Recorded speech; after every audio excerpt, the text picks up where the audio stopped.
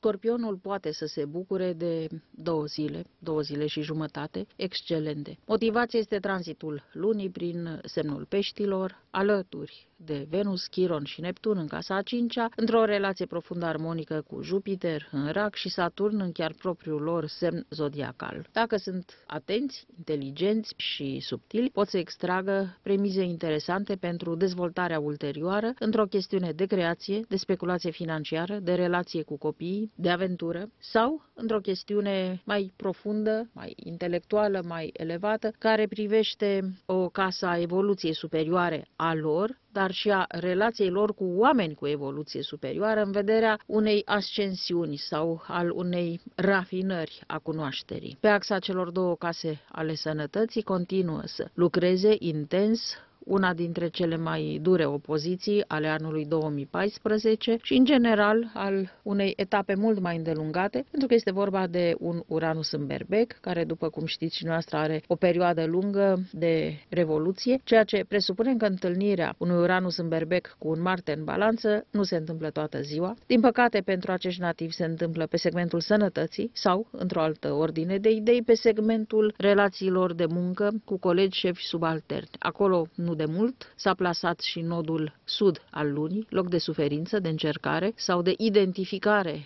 a unor greșeli dintr-o viață anterioară, ori din viața asta dacă nu mai sunt chiar tineri. Și atunci, pe de o parte, este vorba identificării acestor factori perturbatori de destin, dar în egală măsură este vorba și de identificarea unor factori care să le permită repararea și regăsirea drumului pierdut, să nu de firul cu acea etapă unde s-a petrecut fractura, de opțiune care i-a dus pe drumuri greșite, de conduită, de neînțelegere sau de constrângere. Sunt destul de multe elemente în conflict și este mare puterea scorpionilor de a se abține, de a înghiți, nu însă și de a uita. La fel de drastică, dar poate că percepută într-un chip mai puțin clar este și opoziția dintre Jupiter și Pluton pe casa acestei ipostaze astrale a învățării, a examenelor, a pertinenței profesionale atestată de diplome, certificate, etc. Nu este un moment bun pentru examene, sperăm că fiind dintr-un alt punct de vedere cel religios, o săptămână bazată pe sărbători și zile libere și respiro, nu se vor fi plasat tocmai acum acele examene, așa încât momentul indezirabil pentru susținerea Uh, unei probe în fața unei comisii pare să fie extrem de rar ca incidență. Dacă totuși se petrece așa ceva, sigur că nativii trebuie să se analizeze bine, să nu se enerveze, să nu intre în contradicții absurde, inutile și stranii, în dorința de a-i epata pe cei care îl examinează și ulterior îl notează. Atenție și la felul în care începe să lucreze pentru ei. Într-un mod radical, Soarele și Mercur, aceste două planete vor intra